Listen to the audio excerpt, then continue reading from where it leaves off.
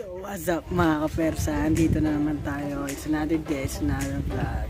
Again, it's me, MotoQuest.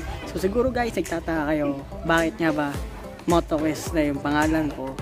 At tawag ko sa inyo ay mga kapersa.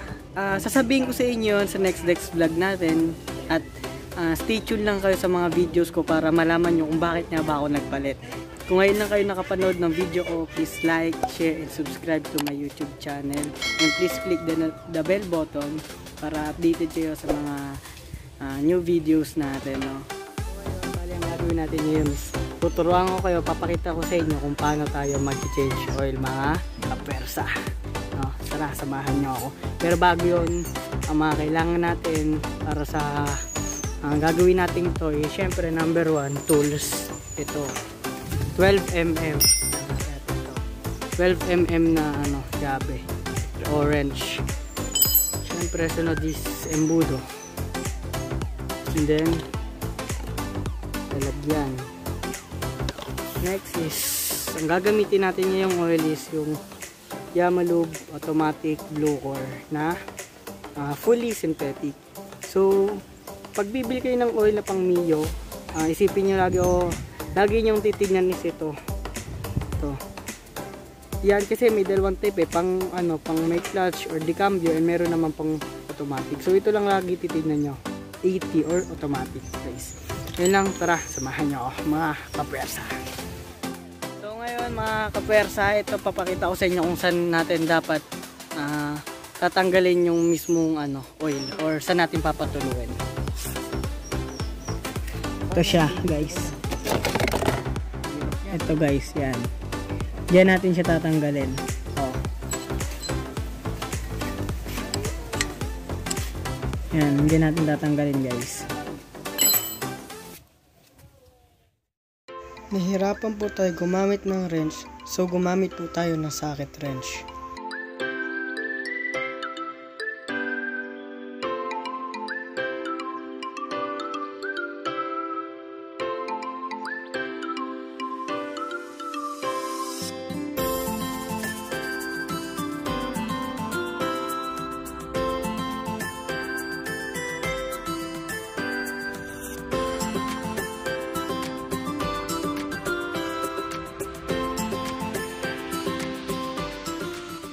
Hintayin lang natin na maubos yung ating maduming oil.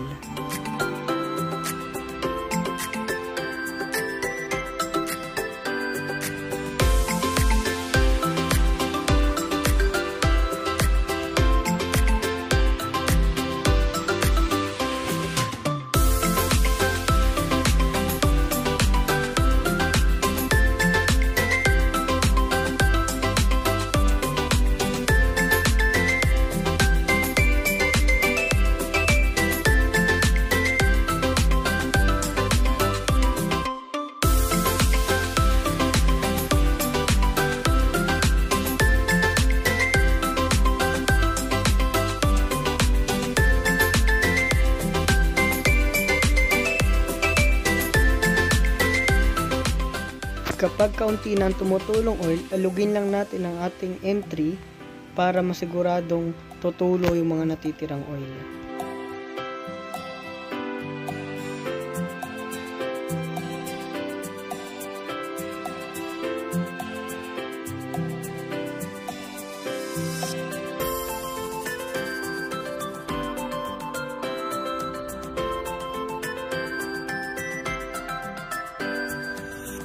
Pagkatapos patuluin ang ating oil, siguraduhin malinis ang ating takip bago ito ibalik.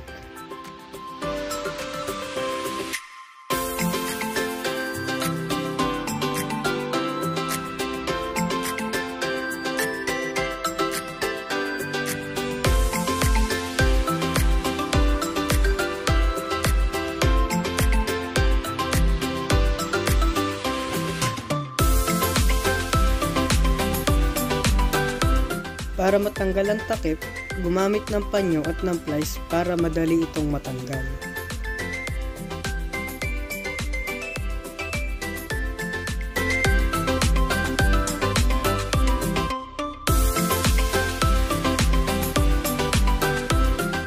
punasan ng takip para masiguradong malinis ito pag ating binalik.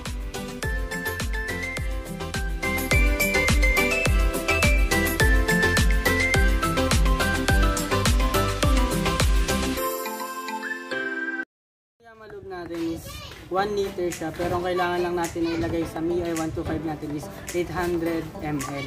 So magtitira tayo guys ng hanggang dito. 200 ml.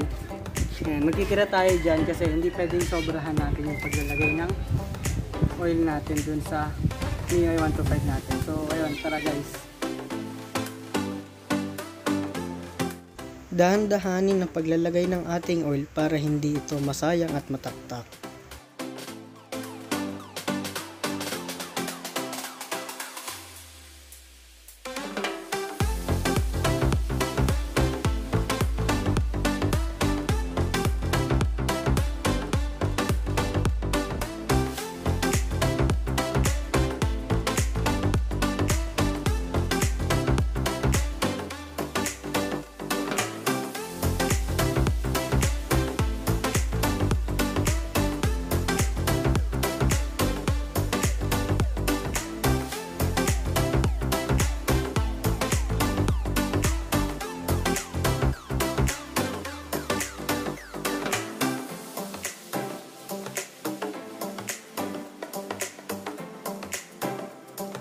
Sa pagbalik ng ating takip, gumamit ng panyo at ng plies para maigpitan natin to ng maayos.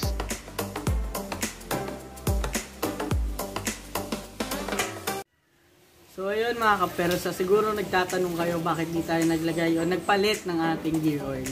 Ang sagot ko is every second change oil natin, saka tayo naglalagay ng ating gear oil. So yun, kung bago kayo sa channel ko, please like, share, and subscribe to my YouTube channel.